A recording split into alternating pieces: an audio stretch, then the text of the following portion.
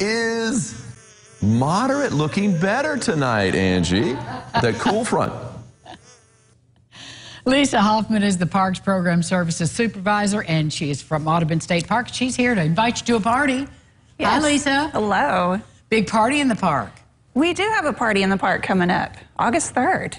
And tell us all about it. What's Well, going to happen then? You know, it's almost time for the kids to go to bed early, get back to that homework grind, which nobody wants to think about. So we thought we'd have another party in the park so that you could have a little more summer fun. Um, from 10 to 1 at our Lakeview shelter on August 3rd, we're going to have kids' games and activities to play, uh, live animal encounters. You can sign up to make something on the potter's wheel with Albert Bauman, um, giant bubble making, kids fishing. Uh, we're also going to invite the community out this time. Where there's going to be a fire truck there from 11 to 12. You Oh, can kids will love look at the fire truck. Have police cars out, um, uh, public libraries coming, all kinds of neat things. So you don't want to miss that for So sure. are all the same thing, things going on on a schedule, or just kind of like a circus? They're going on all the time. it's going all the time from 10 to 1. So you can So drop in, do what for you a while, want. Go fish for a while. Okay. Yeah, you sure can. Even pack a lunch and you know enjoy it while you're there. Yeah. So. Yeah. Yeah, um, we've also got a um, another week before a Fresh Perspective art show comes down. So if you haven't been in to see it yet, you'll need to stop by to see that um, because we're getting ready for our new exhibit, which is called Perfection of a Summer Jewel. And that is uh, artwork done by a local Evansville artist, Joanne Scott Massey.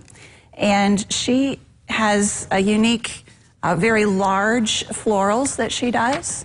Uh, so they're very vibrantly colored. It's going to be beautiful artwork to look at. So um, you can attend the artist reception for her August 8th from 5:15 to 6:30, and then the exhibit itself will be open from August 3rd through the end of October um, during our normal business hours. So Are those art, be- art pieces for sale, Lisa? you know, I'm not positive on that. I would have to find out. Usually, you know, usually that's an opportunity. Yeah, a lot of our artists, Work, yes. a lot of our artists do choose to, to sell their work. So that's a question that our art director Kim McGrew could probably answer if he called.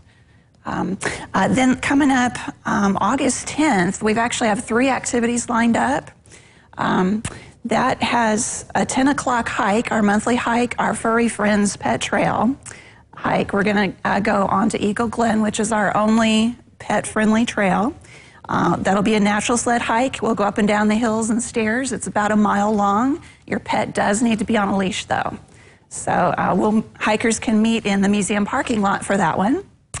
Uh, also, the same day on the 10th, you have to bring your picnic and eat and then have dessert with us because it's National S'mores Day. National S'mores Day. That's going to be so, fun. Uh, we're going to be set up in our Cardinal shelter with the fireplaces going so we can do it rain or shine. Uh, it's a dollar per person, but we'll be roasting marshmallows and making our ooey gooey treats to enjoy. And then also, August 10th, you need to sign up in advance for this one. It's our Mysterious Moth program.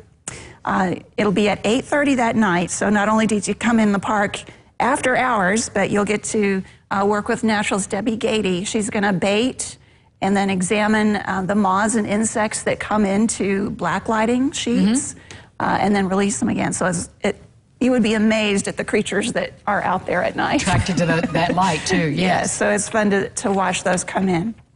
Uh, and then we've got one more thing coming up. August 24th is a Night Sky Comes Alive program. Uh, if you've been out before to hear astronomer Joe Caruso, he's coming back this time for a presentation at 7:30 at the museum. He's going to be our guide to the night sky because we're going to learn about the myths and legends and the patterns that make up our constellations. Fascinating. Yeah, so um, he's going to tell us all about that, and hopefully conditions will be good enough that he can have a telescope up at our golf course after his presentation.